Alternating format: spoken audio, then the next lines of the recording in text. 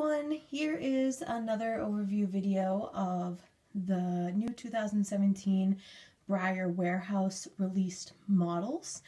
So what this is, is they call them um, warehouse finds, but um, a lot of the time they're very similar to previously released models that are a little bit older and but they're kind of like an updated release, meaning markings are a little bit crisper, the color might be a little bit brighter, the pattern might be slightly different. So when I saw these guys, um, they're on molds that I don't typically collect too many of. Like, I think I don't have the Justin Morgan mold at all, so that's my first one. I have one on the Andalusian mold, which is, um, I think it's Legion Legionario or something, how you say his name.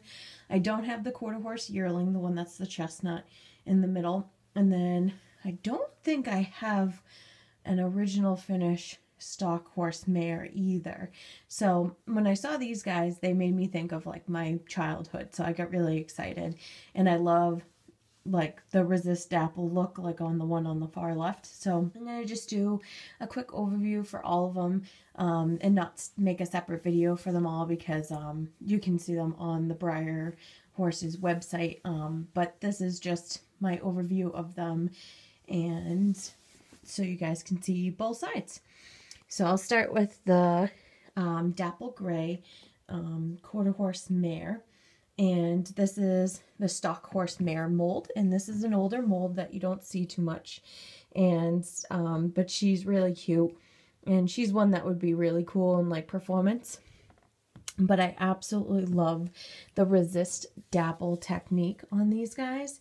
Um, I think it's very cool and they're not like the fish scaly dapples. They're very different and every model will vary um, depending on how the dappling technique went. So she's got black eyes. And I'll set her down so you guys can see her. But nice shading on these guys. Um, they're in good condition. No like box scratches on them. So that is the uh, stock horse mare in dapple gray. And then we'll move to the, they call it the quarter horse yearling. So this one is a flaxen chestnut with a star uh, snip and three socks. One's almost like a stocking. They kind of fade out though. So he's a very vibrant color. And this is an older mold that you don't see very often um, produced but he's cute too. So this is the first on this mold for me, but he's really nice also. Um, his mane is a little bit not quite lined up with where the edge of the mane and ends and where they did the masking. So that's the only thing that I would mention with him. And then we'll move to the Andalusian. So this guy is pretty cool. I'll zoom in. See all those little flea bites on them? They're really neat.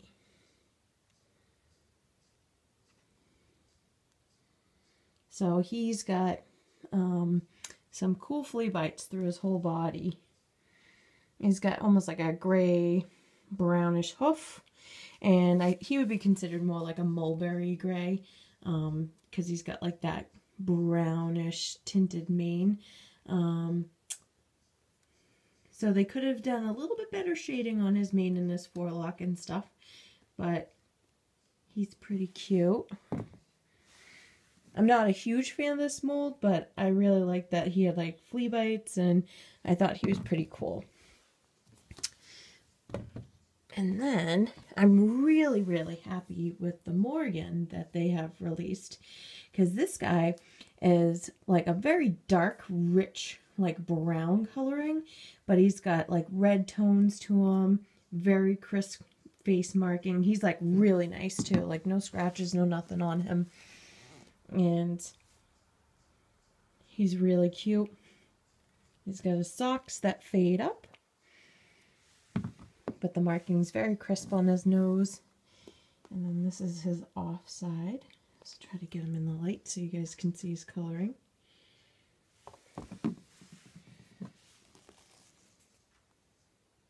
But he's really pretty. So I'm really excited um, to have another Morgan in my collection because I definitely need to get more Morgans. But he's really cool. So I he's probably my favorite out of the group. It would probably go um, the Morgan's my favorite, then the Stock Horse Mare, then the Quarter Horse Yearling, and then the Andalusian. So I hope you guys enjoyed this video, and thank you for watching.